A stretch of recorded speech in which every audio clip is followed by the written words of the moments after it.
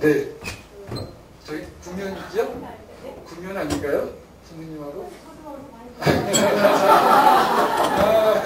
저는 많이 뵀는데 아 이게 작업하는 거 아니에요? 괜찮아 괜찮아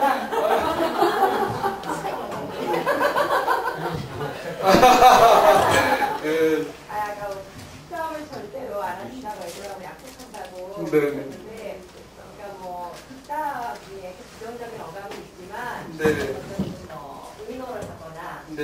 아니면 정보를 주거나 아, 네. 그런 의미에서도 또 직장이 있을 수 있잖아요. 아, 그렇죠. 그래서 그왜 부정적인 측면을 어떤 분은 생각하시는 건지 네. 물론 이제 그 구별해 줍니다.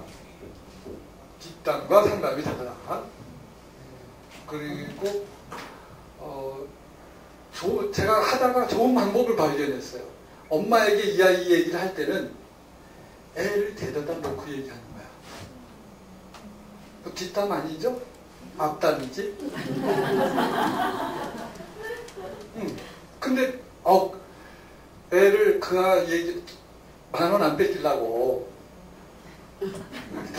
근데 여기다 놓고 이렇게 하니까 내가 굉장히 전화하면서 내가 굉장히 조심하고 있구나. 그러니까 중립적인 용어를 쓰느라고. 그러니까 나도 객관화 시켜서 엄마한테 보낼 수 있고. 그래서 뒷담 대신 뭐 하면 된다?